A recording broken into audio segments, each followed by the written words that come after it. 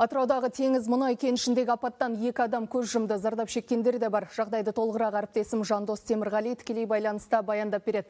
Жандос оқиғаның себебі белгілі ме?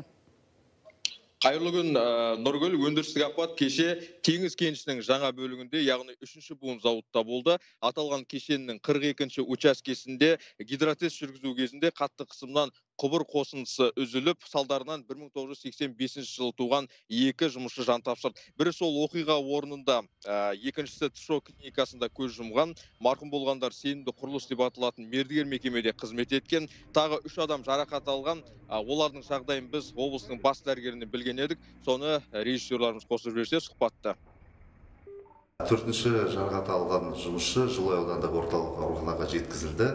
Ол кісінің жамбасы тұсынан жабық жарақат алынған оған да толықтай көмегін көрсетіліп жатыр.